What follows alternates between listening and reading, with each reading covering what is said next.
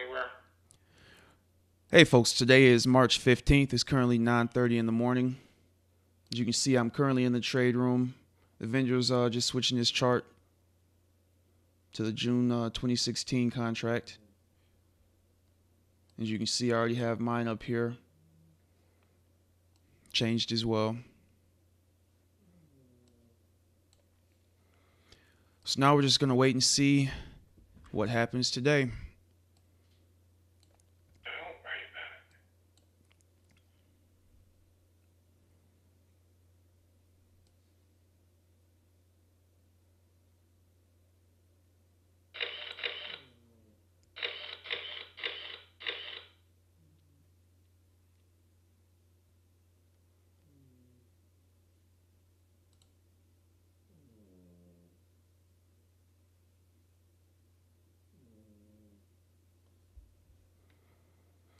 All right, so what I'm gonna do is I'm gonna go ahead and pause it, and I'll come back once he's uh looking at entering a trade or once he sees a setup worth taking. All right, he's finished uh, drawing his charts here.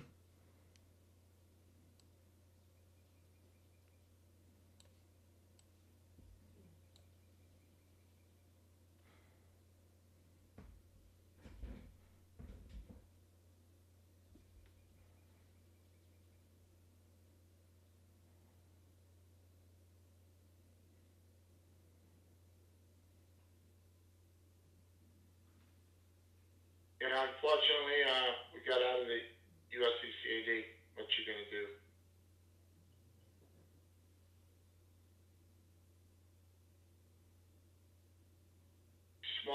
Smaller the smaller term charts, you know. But I'm not looking at that anymore right now, guys. I'm looking at the futures. All right, so that's what my focus is.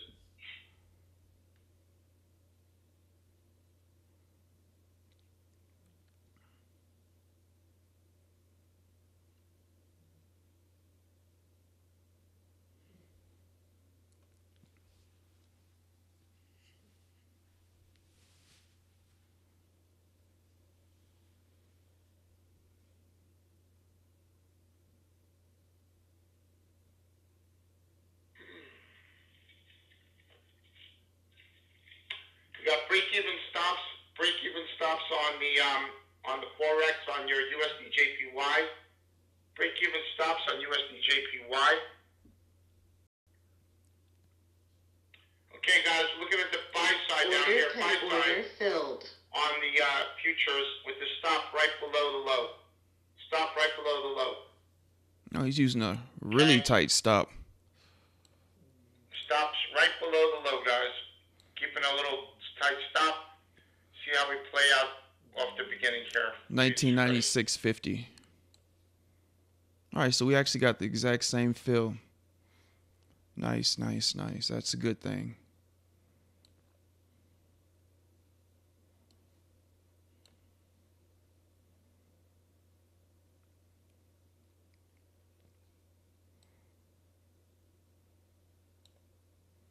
All right, guys, half a point risk, 1996. We're just keeping a point, half a point risk. Tight stops, tight stops down here, guys. 50 cents risk, that's about it. 50 cents risk. All right, 50 cents risk. Very small stop indeed. Okay, very indeed here, guys.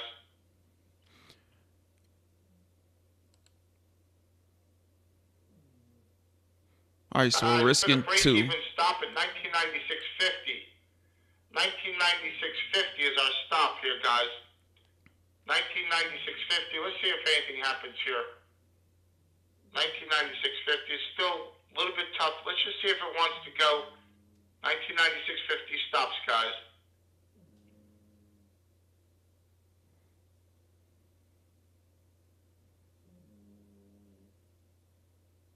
Down all the way again. If it does, we'll look to buy them again down there. So.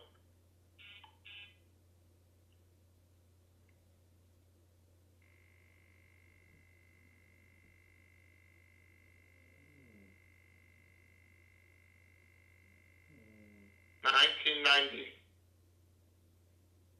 1990, 650 on the futures, guys.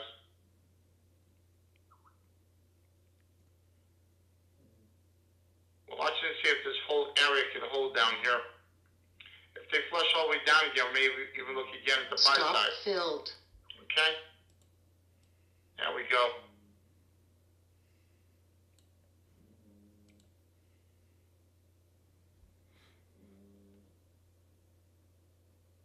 Not even moving. What a tough market, man. What a tough market. Market's even moving pretty slow right now. So that was a break even trade. Not even a tough market. Tough market. Not even moving. Guys, let's just Or- buy it again down here. Buying it again down here, even though it's a little bit low, uh, high. Putting our stops at the bottom for now. All right, watching one more time. Got a point and a half risk, guys. Only a point and a half risk. It's not so bad. Stops at the lows. Watch and see if they hold.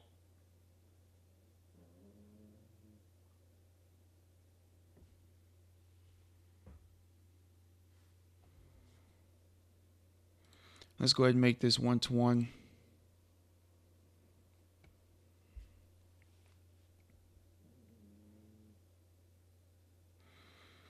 And we'll just leave it in and see what happens here. Futures on the buy side. Futures on the buy side. I covered up my. Here it is. Okay.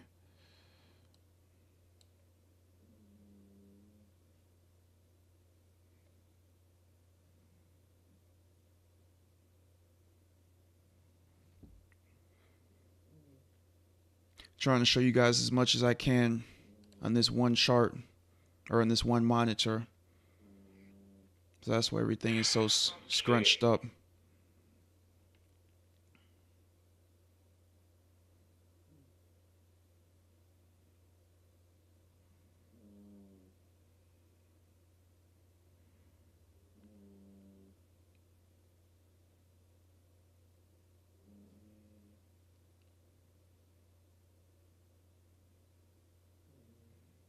Futures on the buy side. Down there.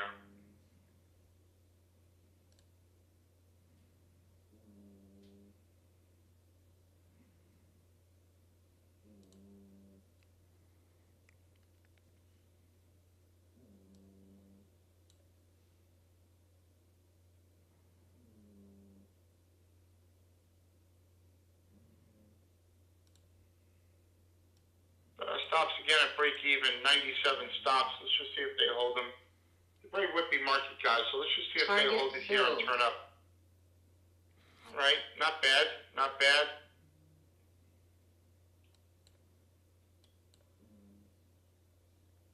All right, so he's just staying with the futures. Let's just see how far they want to go, guys. Stay with the future. Let's see how far they want to go, guys. Let's see if this is going to turn into something big or not. Okay?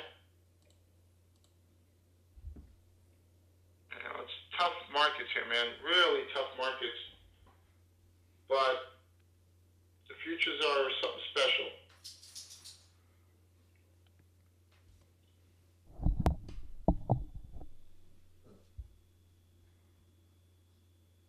Tough, tough markets.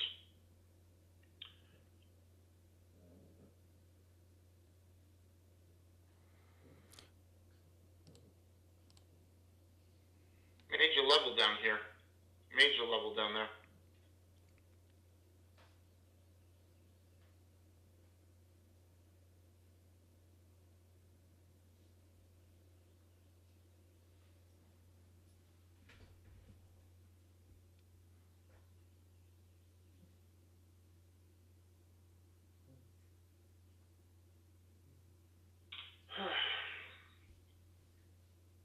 Okay if they test down again. We can always rebuy them down there. Not a problem.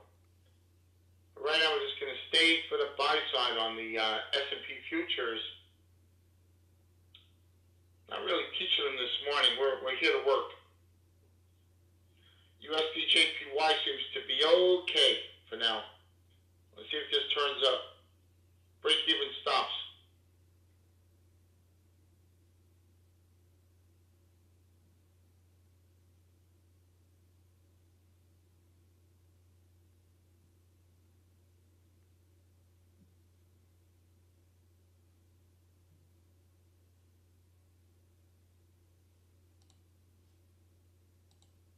Doing is doing two positions, uh, two contracts, two lots of the S&P futures. The S&P futures are similar to Forex in terms that you're buying and selling contracts or lots. Uh, these would be equivalent to lot sizes. All right, these are equivalent to lot sizes in the Forex. Uh, we suggest to have around thirty-five hundred to five thousand dollars in an account. Very volatile. The markets are very, very fast. It's a much different game than Forex. As you can see here, much, much different game than Forex.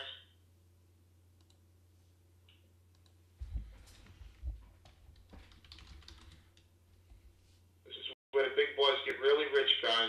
Big boys get really rich in futures in a very fast way to play. This is very fast. All right? Very, very fast playing game. Much different than Forex in terms of, uh, yeah, right here. Right there on the chart. That's the money.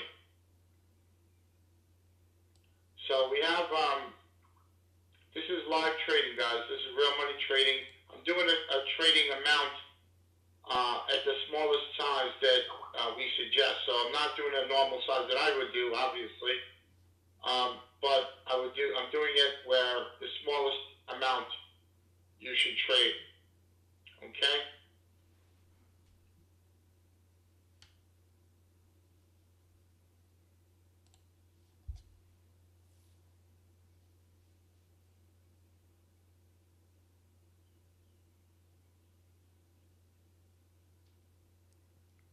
So guys, exiting half of my position. So we exited half, guys. So we locked in a hundred bucks no matter what. And uh, what we're gonna do now is as this moves higher, we're gonna lock in more. So uh, regardless, I'm locking in fifty dollars right here. Fifty. Uh, oops, I'm sorry. Locking in more money right here put a stop there. So no matter what, even if we get stopped, we make money on the second position. So we locked in profits on half of our position right now. Uh, yeah, you need about three thousand to five thousand dollars, man. Thirty-five hundred, five thousand minimum to start with the futures. Okay.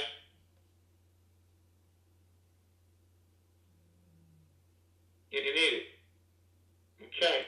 So now I'm putting, I'm locking in right now right here, I'm locking in more money. So now we can't lose. We can only make money on the day. And uh, we're watching to see if this market wants to turn up for us and start locking really higher. So we'll see what happens now, guys. We'll see what happens. When you get stopped out, it's okay. We locked in money no matter what. If we don't get stopped out, we're just going to ride it. Ride it higher.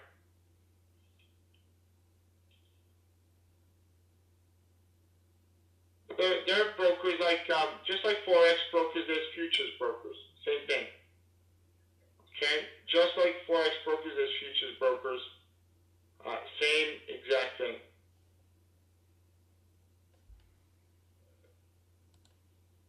Yeah, tough little market, and uh, we're trying to see if this wants to go. If it does, we're going to ride it higher, guys. Take a nice little ride to the upside. well, let's see. How you feeling, Hector? Everything all right?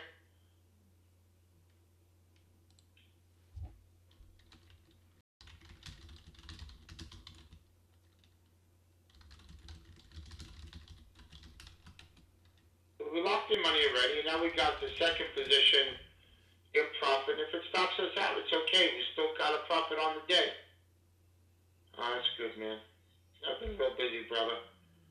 It's like, like I uh, Stop filled. wake up and I'm like a, hit with a tornado every morning. So let's just see how we did here today, guys. We we should have done okay. All right? We should have done okay today. Give out 192 bucks. How'd you guys do, guys? How'd you make money? You make money, guys? Make money? 125, 450. This is nice. You see what I'm saying? This is nice. This is nice. 375. Look at this. Ah, this is nice, guys. This is nice. All right, all right. Good, good. Hey, guys, look, you know, we make some money. We're done. We're done. And, um, really, there's not much to, to educate here other than the fact we're in a little trading range. That's it, you know. All we did was watched, um, watch the market down here to see if it was going to hold. And when it did, we jumped into the market. We saw it was holding, and that was it. It wasn't anything special. We didn't do anything special this morning. We did nothing fancy. No fancy schmancy pants. But, yeah, we did all right.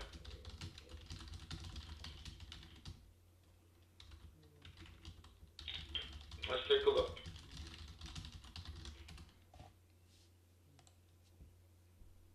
We'll keep the futures up in case we see anything. I don't know. We'll see.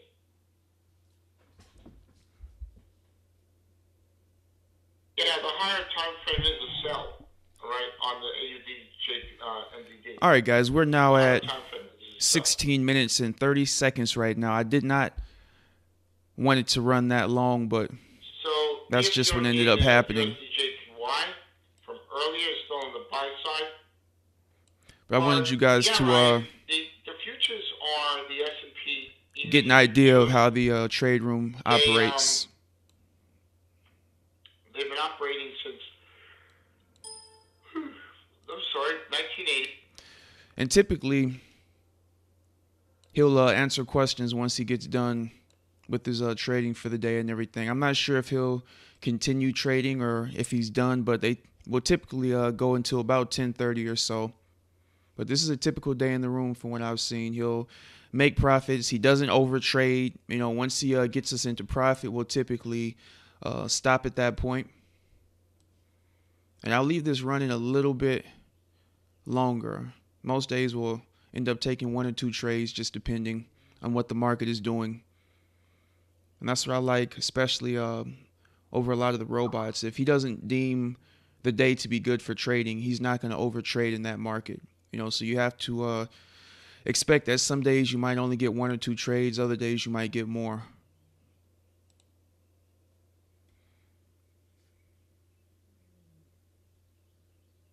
Fifties, the S and P. So um,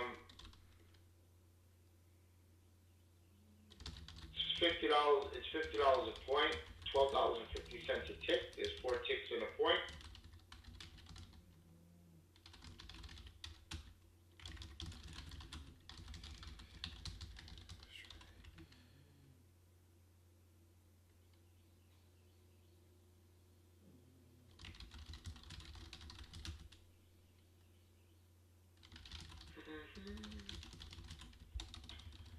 I may do um, Monday to Friday on the futures. I may go back to doing that.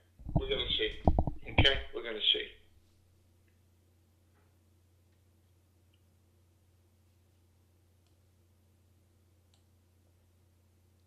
We're we're gonna see. I mean, I I'm considering doing New York session Monday to Friday, and then uh, uh, the London session Tuesday, Wednesday, Thursday. It, it may be a better fit. I'll be honest with you guys. Also, our London session, New York session, doing all that, it's it's it's not easy, but um, it's doable. Not a big deal. It's just the uh, the weather gets nicer, markets get more choppier. Um, you know, not a problem. I mean, you know, it's I'm here.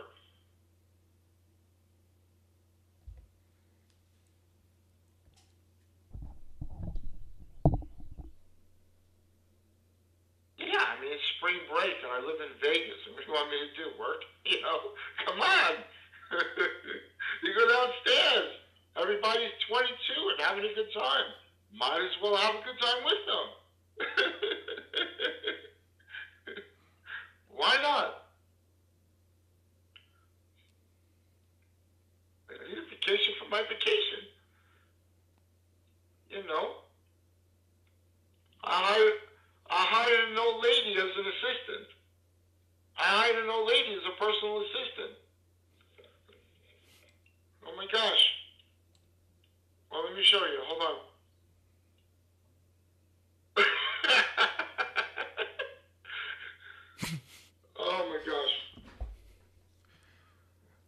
All right, folks, I think that's going to be it here. It's about 10 o'clock. So I'm going to go ahead and shut it down. We're already at 20 minutes. We made profits on the day, like everybody was able to profit.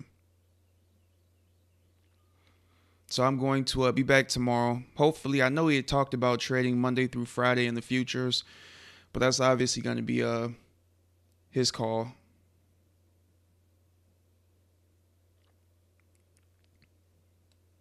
So we'll see what happens. But either way, I'll be back tomorrow, March 16th, and hopefully uh, I'll get another video out to you guys then. All right, hope you guys have a great day, and I'll see you guys on the next video. Take care.